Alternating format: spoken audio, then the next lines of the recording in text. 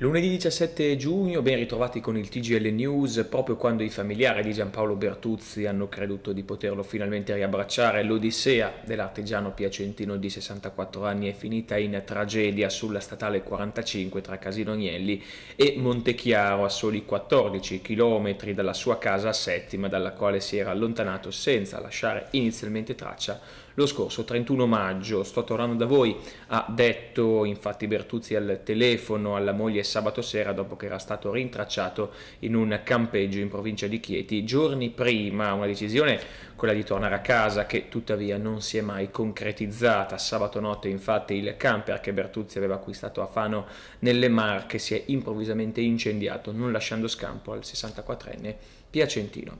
Ancora cronaca, i carabinieri della compagnia di Piacenza assieme al personale specializzato del NAS di Parma e al nucleo ispettorato del lavoro di Piacenza hanno sequestrato oltre 25 kg di prodotti alimentari scaduti in due bar di Gragnano e San Nicolò. In un caso il titolare è stato denunciato per aver installato un sistema di videosorveglianza senza autorizzazione e segnalato all'ASL poiché è stata riscontrata la mancanza dell'attestato di formazione personale di alimentarista. Sono stati inoltre elevate alcune sanzioni amministrative per la presenza di un lavoratore in nero e per carenze igienico-sanitarie per un totale di 4.800 euro. Stessa sorte per il titolare di un pub a San Nicolò, identiche le sanzioni elevate. Dopo l'annuncio dello stato di agitazione da parte dei sindacati della polizia locale in materia dei servizi resi dagli agenti durante manifestazioni organizzate da privati, ad esempio il Giro d'Italia, il Gola Gola Festival e tanti altri, è arrivata la pronta risposta del comune di Piacenza. L'assessore alla sicurezza Luca Zandonella infatti ha assicurato che la modifica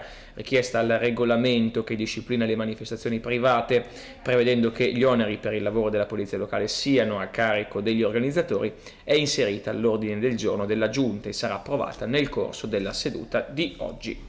Chiudiamo spostandoci in provincia, tradizionale appuntamento di naturisti ieri in Trebbia a Marsaglia, nella spiaggia di Secchiello Selvaggio, un raduno ormai capace di attirare partecipanti da tutta Italia, assemblee dei soci delle associazioni Anita e Trebbianat, tuffi, partite di pallavolo e grande pranzo a base di porchetta, banditi piatti di plastica e tutto ripulito al momento dei saluti. Questa è la nostra ultima notizia, il TG News torna più tardi, buon pomeriggio.